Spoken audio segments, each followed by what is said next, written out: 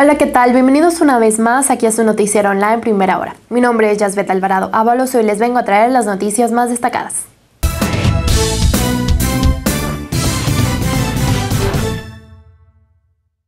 Comenzamos con la información. Deja gira del gobernador inversión por 139 millones de pesos.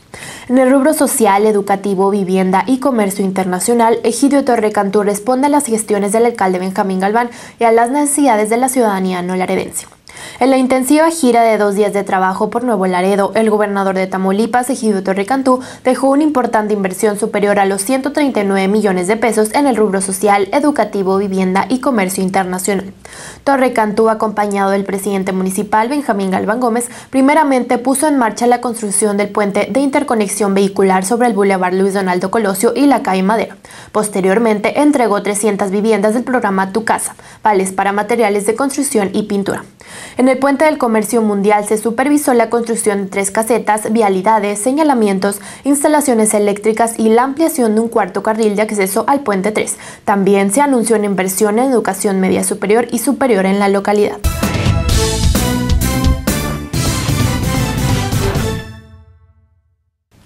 En otras noticias, reinician actividades los agentes viales. Luego de seis meses de haber suspendido sus actividades por segunda ocasión en esta administración municipal, 220 agentes viales reiniciaron sus actividades en las calles, pero ahora lo hacen protegidos por elementos de la Policía Estatal y en horario diurno, informó el secretario del Ayuntamiento Fernando Miranda Macías. Los agentes viales fueron vistos en las calles de las ciudades del sábado 23 de marzo por un acuerdo establecido entre el presidente municipal y su cabildo, por lo que de manera paralela los elementos del programa Seguridad Tamaulipas continuarán de manera independiente con el apoyo en labores de vigilancia vial y operativos de cumplimiento con el reglamento a los ciudadanos.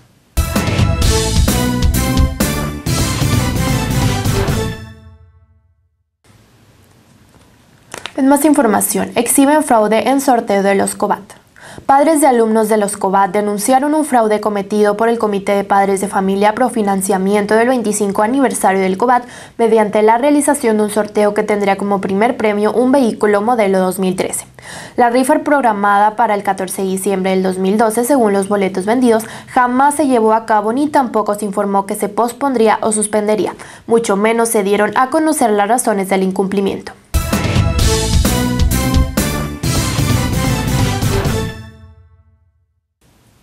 En más noticias, Montiel, candidato oficial del PRI.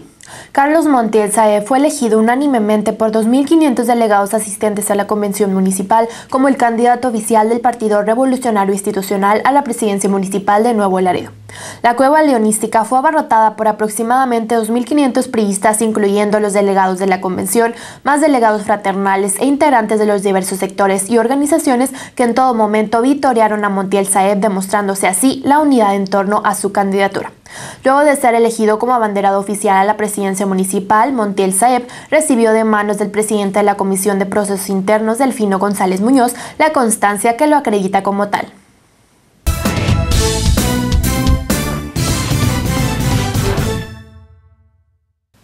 En otra información, saturan puentes internacionales.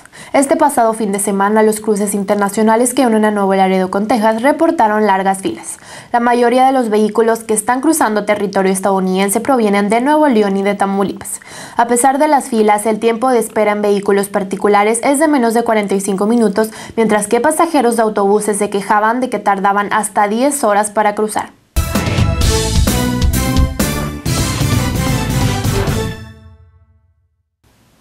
En más noticias, 5.000 muertes por bullying. Debate en ley que castigue el acoso escolar. El Senado de la República abrió la discusión sobre una ley que castigue con severidad a aquellos adultos que permitan el fomento a la violencia en las escuelas, el llamado bullying, ya que tan solo en el 2012 se registraron hasta 5.190 muertes por el acoso escolar, dio a conocer el secretario de la Comisión de Puntos Constitucionales del Senado, José María Martínez. En Tamaulipas, la Secretaría de Educación puso en marcha recientemente una página en Internet con contenido al respecto y titulada No Más Bullying, en la que se ofrece información y se abre una línea para que aquellos que sufren acoso escolar puedan denunciarlo ante las autoridades. Se trata de la página www.nomasbullying.tamaulipas.gov.mx, sitio que forma parte del programa integral para la prevención de la violencia escolar y de escuela segura, en donde esas acciones negativas se buscan disminuir y erradicar evitando más incidencias que hasta han llevado al suicidio y asesinato de los menores como se ha registrado en los últimos tiempos.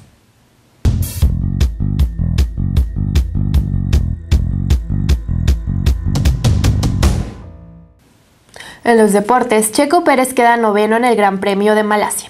El piloto mexicano Sergio Pérez logró quedar en la novena posición con su nuevo bólido de McLaren en el Gran Premio de Malasia, sumando así sus primeros puntos, carrera en la que sí dieron algunos descontentos, pero que no impidieron que el Red Bull protagonizara la carrera y se coronara el tricampeón Sebastián Vettel.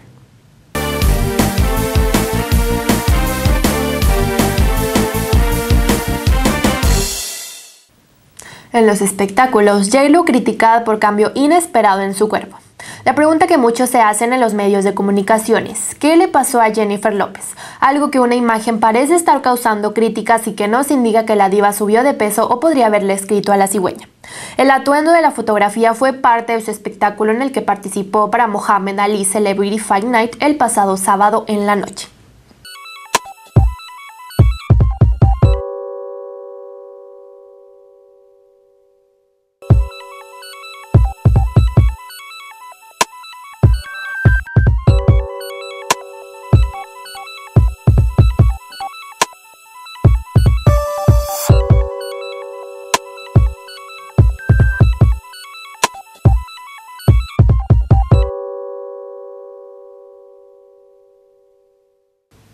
Esto es todo por hoy. Si quieres ser informado de estas y otras noticias, te invito a visitar nuestra página www.primerahora.com.mx. Yo soy Yasvet Alvarado Ábalos. Hasta la próxima.